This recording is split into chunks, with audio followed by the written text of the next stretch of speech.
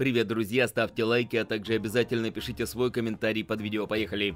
Лидер белорусской оппозиции Светлана Тихановская поблагодарила украинцев за солидарность с белорусским народом. Она отметила, что тоже чувство несогласия, которое вызвало в Украине революцию, вдохновило к борьбе и Беларусь. Борьбу белорусов против власти Александра Лукашенко Тихановская сравнила с борьбой украинцев. Об этом политик заявила во время выступления на Киевском форуме безопасности.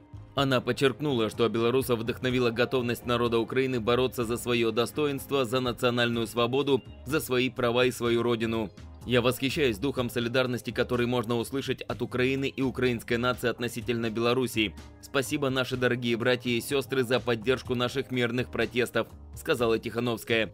Она отметила, что Украина сейчас борется за свою территориальную целостность в международно признанных границах, а Беларусь за независимую нацию и свободу. Ранее Тихановская заявила, что планирует визит в Украину после местных выборов, которые состоятся уже 25 октября. Заметим, что накануне лидер белорусской оппозиции дала пространное интервью. В нем она рассказала об ужасных пытках активистов в Беларуси, объявлении себя в межгосударственный розыск и основные причины, почему в стране начались массовые протесты. Главные тезисы из интервью Тихановской. На ситуацию в стране повлияли потеря властью интернета и наглое отношение к людям. Люди в начале эпидемии увидели, что белорусы не значат ничего для власти. Почему в Беларуси начались массовые протесты против власти? Тихановская назвала основные причины. То, что Тихановская попала в розыск в России и Беларуси, ее совсем не волнует. Был бы человек, статья найдется.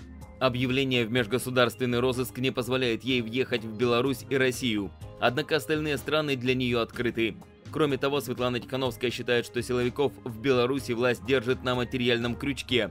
Кроме того, правоохранители зомбированы, о чем свидетельствует их отношение к протестующим. Что касается заводов, то руководство за самопровозглашенного президента, а большинство рабочих против. Тихановская заявила, что силовиков держат рублем, а некоторые из них как зомбированные. «Мне рассказали, что это люди с таким взглядом, будто совсем не понимают, что они делают», отметила оппозиционерка. Она подчеркнула, что нормальные люди такими зверствами, которые правоохранители совершают в отношении протестующих, не занимались бы. На этом я с вами прощаюсь, подписывайтесь на наш канал, жмите на колокольчик, а также не забудьте перейти на наш сайт, странички в Инстаграм и Фейсбук, ссылки в описании.